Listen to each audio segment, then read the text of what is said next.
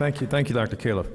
The final speaker in our session before we go on to questions and discussions will be Dr. Elizabeth Heitman from the University of Texas Southwestern Medical School, who will be speaking on the ethical and welfare considerations regarding precision animal modeling. So, Dr. Heitman. And my screen is not up here. Is it supposed to be? I've touched. There we go. Lots of things up now. There we go. Thank you. Good morning.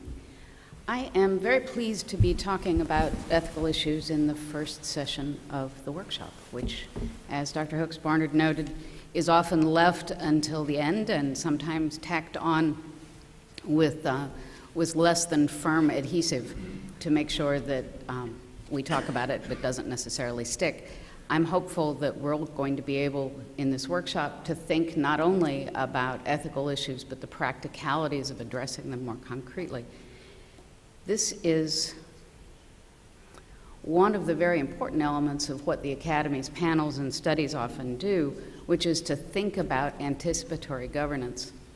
Anticipatory governance, like precision medicine, is a, a term that has an awful lot of definitions, but we can think about it largely as strategic and policy oriented planning for risk management and risk assessment and risk reduction, thinking about how to manage new technologies and new aspects of science as they emerge. But with that caveat that we heard again from Dr. Hooks Barnard that we tend to overestimate in the short term and tend to underestimate the effects in the longer term timing in this regard is crucial, and this is one of the very first sessions that has been held in a scientific and policy environment talking about animals and precision medicine. One of the problems is that if you engage too early in the cycle of the technology and the development of the science, there's not enough known about what's going on and what's going to happen to be able to predict the manifestations of the science and technology, how it might be applied, and what its possible effects might be. But if you don't get there in time, the horse is out of the barn, and more mature technologies may be too far diffused to be able to manage with policy or with even professional norms and standards because people have already adopted their own practices. I don't know that we know where we are today in terms of the possibility of anticipatory governance with precision medicine in animals. I think that this workshop is going to give us a lot of insight into what we need to be thinking about, and we may discover, as is often the case, uh, a lot of erratic uh, standings depending on the aspect of the technology itself. What I can tell you is that ethics and values is essential, but entirely dependent on knowledge of the science. Professional standards of ethics and professional standards of practice shape the way that new scientific developments unfold, what work is done in the first place. And then it, that informs how they're applied. So the scientists start the ethics. And then the public's diverse values support, or as folks in animal uh, laboratory research know too well, oppose scientific developments and the development of new technologies, often, again, from very distinctly different perspectives from what the scientists are thinking we know that precision medicine is very attuned to the need for public engagement and public discussion of values related to the science, but it's not really been addressing questions of animal research. Ethicists, like most other participants in anticipatory governance, need to be able to predict how a technology will be used. But ethicists have the same sort of murky crystal ball as many other people in the public and unfortunately, we see a lot more dark clouds in our crystal ball, worrying about the things that can go wrong. Because typically, ethical standards are applied and ethical questions are asked retrospectively, after something has gone wrong, after a new technology has been developed that dramatically changes the status quo. And we don't necessarily get ahead of the, the situation well. And as I said a moment ago about the public, ethicists must rely on others' reports of the new science and must be able to understand the science even as the science is unf- unfolding. And what I've found in preparing for this discussion is that animal models in precision medicine is still such a new topic that there's no ethical discourse. There has been very limited discussion of animals in precision medicine in ethics, and almost nothing looking to the future.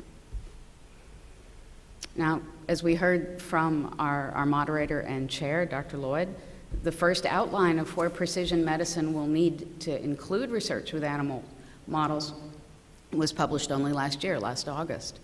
And the areas in which research with animals will be needed for precision medicine were first outlined there. Comprehensive exploration of all of these fields, in fact, is going to come from this meeting. It has not been taken, uh, undertaken by anyone else at the moment. So, what do we do when we don't have a factual basis to think about ethics? We go back to the basics, and I'm really pleased to see that of three printed definitions of precision medicine, we've all gone to the same source. Uh, mine is a pastiche of different pieces of what's on that slide on the National uh, Library of Medicine's website. But precision medicine is data driven treatment and prevention. That, to go back to the slide that everyone else had, takes into account individual variability in genes, environment, and lifestyle for each person. I think it's extremely important that we all picked the same definition. And I say that because disparate definitions can lead people into very different understandings of what the ethics may be. When we begin to think then about this definition and how it shapes animal modeling, we have the key questions of data driven, genes, environment, and lifestyle. And so, consideration of ethics and welfare in animal research in support of precision medicine will need to include attention and perhaps frameworks that shape the ethical questions around the reliability, sharing, and use of animal data, how we model genetic effects, how we model environmental effects and their interaction with genetics, and how we model lifestyle, social, and behavioral effects, both with genetic and environmental effects as well. It's also very true that the, the world of animal research has a very strong framework, and returning to the basis of the three R's gives us a very strong platform from which to think about ethical issues in research in general. When we think about the need to have replacement and reduction and refinement of animal research as ethical goals, we can identify a number of ways in precision medicine that we need to think about ethical questions in the work to be done. Researchers should use animals of the lowest level of evolutionary complexity, something that will be increasingly possible with genetic modification and design of animal models. And we should replace animal models with alternatives wherever possible. Again, the replacement with data instead of with animals is something to be looked forward to. Protocols should be based on a thorough knowledge of past work and designed to reduce the number of animals and experiments to the fewest necessary to answer the research question in a statistically significant way. Again, something that large data sets should help with enormously. And then researchers should continuously refine their procedures to eliminate or at least minimize animal pain and distress. Again, something which genetic precision should help with tremendously. There are ethical concerns, however, regarding the data driven work. And these are ones that we've heard about in the last two presentations in a practical way, thinking about humans. But how many collaborative databases are we going to have? Databases that support and uh, support reduction and replacement of animals already exist, and there are a number of them that I've listed here. You'll notice that some of them are international databases. How do we think about planning for international data sharing?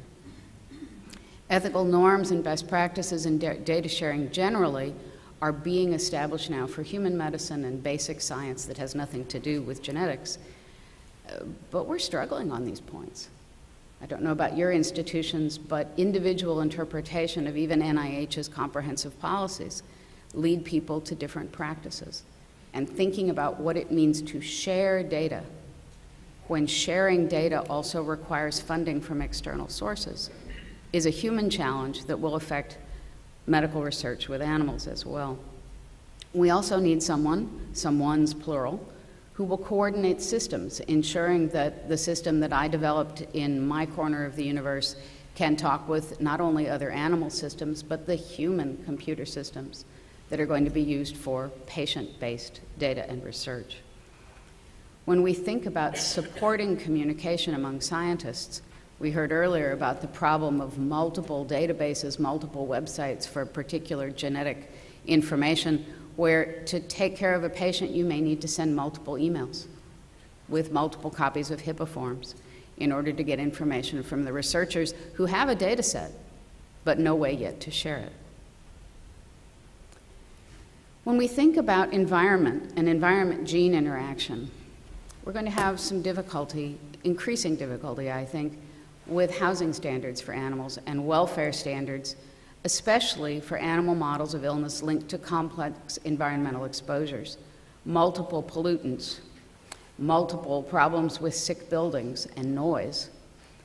When we think about animal studies on environment gene interactions, they often look for clinical answers or physiological information, but on problems that public health may already have an answer for. We know that pollution is bad. How bad do we need it to be? Do we want to think about the justice questions, both for humans and, uh, and animals, of testing to determine what safe enough pollution might be? or whether we could develop a drug that would offset the risks of environmental hazards so that someone medicalizes what would otherwise be concerned, considered an environmental problem. Similarly, studying the effects of gene lifestyle interactions will need to distinguish very carefully between behavior, which in public health is often considered volitional, something we choose at some level to do, and where humans can be led to change. An environment which is typically thought to be beyond our control as individuals. So, for example, if we're going to talk about smoking, as Dr. Califf brought up, the issue of tobacco control is a, a major issue in public health and smoking a major consideration in precision medicine. How might a model for volitional cigarette smoking, as opposed to toxic exposures, differ one, from one for chronic exposure to wood smoke for a human? How would we develop animal models with these questions in mind?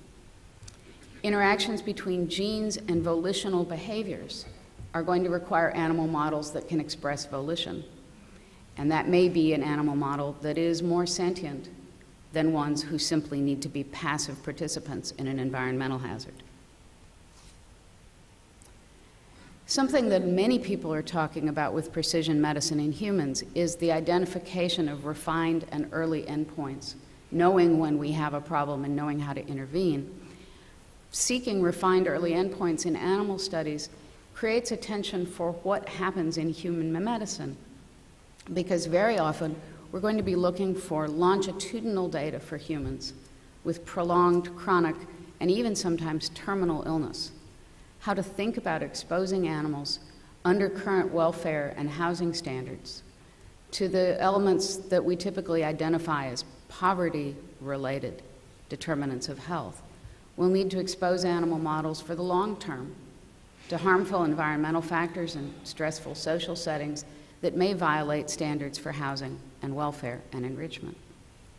And similarly, something that has been an interest of mine for about eight years since a, an earlier project on animal models for biodefense. Many of today's successes in precision medicine, such as treatment of advanced cancer, tend to identify interventions that prolong the very last parts of life, come at a time when, with an animal model, we might already be seeking euthanasia for an inhumane burden of, of cancer or other suffering. How we think about long term animal models for dying is something that precision medicine may need to grapple with. This is not something that is left exclusively to ethicists. Researchers, research institutions, funders, people in this audience need to look for and recognize both old issues but new and potentially unexpected ethical issues as the science of precision medicine and animal modeling progresses. And, and this means particularly people who are up close and personal on the front lines, who are able to see what is ex- being experienced by the animal, but also by IACUCs and IRBs and reviewers of method sections of papers and grant submissions. And then the patients and families who are increasingly being engaged in the Precision Medicine Initiative to undertake discussion of what their values are in relation to the, to the project. Precision medicine's ethical commitment to public engagement really needs to include animals. How we're going to do that is something that my colleague Rich Sharp, I think, will be speaking about tomorrow. But it is a challenge because at the moment we don't do animal discussion with the public very well. So thank you very much.